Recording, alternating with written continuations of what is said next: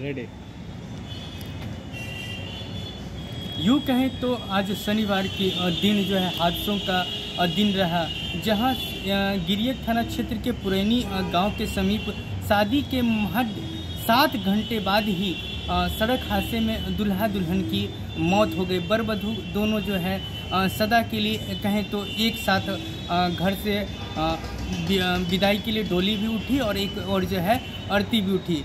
इस हादसे में कारू चौधरी की 20 वर्षीय पुत्री पुष्पा कुमारी और नवादा निवासी महाराना गाँव निवासी तुला चौधरी का 27 वर्षीय पुत्र श्याम कुमार शामिल है, जबकि जख्मी लड़के के मामा का इलाज पापुरी मेडिकल कॉलेज में किया जा रहा है। घटना की जानकारी मिलते ही परिजनों की चीख पुकार अस्पताल में मच गई है। वहीं हम दूसरी बड़ी घटना की बात करें तो शुक्रवार की देर और शाम ट्रैक्टर की चपेट में आने से एक ही बाइक पर सवार तीन युवक की मौत हो गई थी।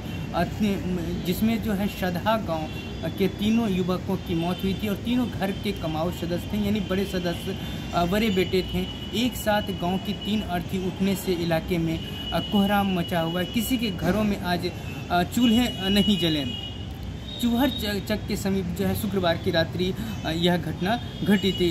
मृतकों में जोगी महतो का 22 वर्षीय पुत्र मुरारी कुमार, जनार्दन महतो का 24 वर्षीय पुत्र रोहित कुमार और धर्मेंद्र महतो का 23 वर्षीय पुत्र राहुल कुमार है। देर रात ही सरमेरा थाना द्वारा सबका पोस्टमार्टम कराकर परिजनों के हवाले कर दिया गया। वहीं पुलिस ने जो है ट्रैक्टर को जब्त करते हुए चालक की गिरफ्तारी के लिए छापेमारी की बात कह रही है। वहीं हम तीसरी खबर की बात करें तो एक बार फिर नालंदा के एसपी अशोक मिश्रा ने तीन थानेदार समेत 31 अ, दारोगा को इधर से उधर पोस्टिंग किया है जिसमें जो अभी हाल के दिनों में रामनवमी शोभा यात्रा में के दौरान चर्चा में रहा लहरी थाना के थानाध्यक्ष सुबोध कुमार जो स्वयं लिख करके थाने से हटने का जो है आवेदन दिए थे उन्हें वहाँ से हटा करके तेज तर्रार इंस्पेक्टर दीपक कुमार को इसकी ज़िम्मेदारी दी गई है। वहीं दूसरी ओर सोसराय थाना क्षेत्र का थाने की ज़िम्मेदारी राजमणि को दी गई है। इंस्पेक्टर राजमणि को वहीं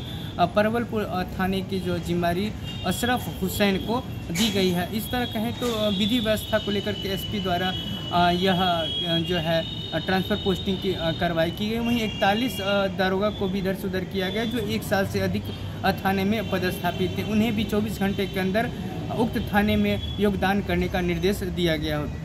वहीं पांचवी खबर की बात करें तो एक लापता बच्ची का लाश जो है शव जो है वो गाँव के तालाब के पास से बरामद किया गया। कल शाम से गायब थी। यह घटना जो है बिन थाना क्षेत्र के रामपुर बिघा गाँव में घटी है जहाँ मृतका कुंदन चौहान की पुत्री नंदिनी कुमारी बताई जा रही है। सबका पोस्टमार्टम कराकर पुलिस ने अ, परिजनों के हवाले कर दिया। वहीं अहले सुबह सड़क हादसे में इसी थाना क्षेत्र के में जो है एक घटना घटी जहाँ बाइक की सवार की मौत हो गई। वह अपने दोस्त की शादी से लौट रहा। तो इस तरह कहें कि तो सदर अस्पतालों में दिन भर जो है परिजनों का रोने और चीखने चिल्लाने की आवाज़ आती रही।